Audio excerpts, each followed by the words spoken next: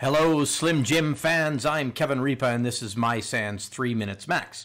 We uh, left off in the last episode talking about volume shadow copies, but how do we get at them? We need a mounted volume from an evidence file to see them in our evidence anyway. So we have an evidence file, and we're going to mount it using FTK Imager because that's the way most people mount this. So we pointed at uh, an E01 file that we've created and we mount it with uh, uh, FTK Imager because that's what everybody does. And once we do that, we uh, go and check on our volume shadow service. And the way we do that is we can go to the command line and we go VSS admin list shadows. Well, this shadows for what? For uh, E drive because that's where our image got mounted. And if I could type, this would go a lot better.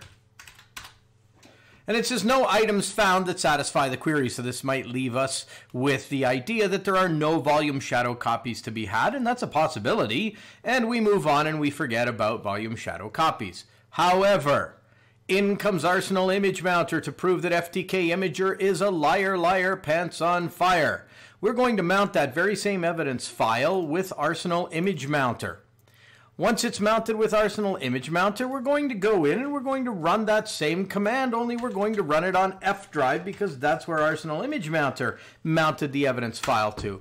Lo and behold, we see that we have three, one, two, three uh, evidence files or uh, volume shadow files.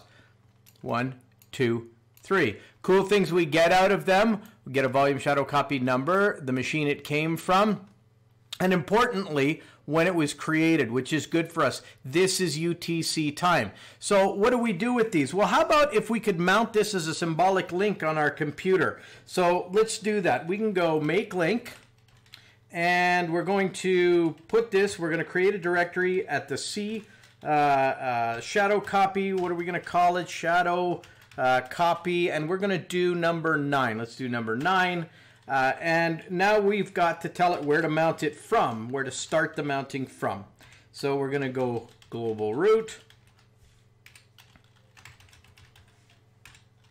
device, hard disk, volume, shadow, copy, and we said we were going to do number nine. And then this trailing backslash. If it works, it's going to just return us to the command prompt. But now when we go into our C drive, we see that shadow copy 9 is right there. And now we can see all of the user files. Big deal. Is there an easier way? Well, we can also image from here. If we have this mounted, we can create another forensic image of the volume shadow copy. But let's look into this deeper tomorrow, find an easier way to access it, and pull goodness out of it. So, in the meantime, and in between time, that's it. Another episode of Three Minutes Max.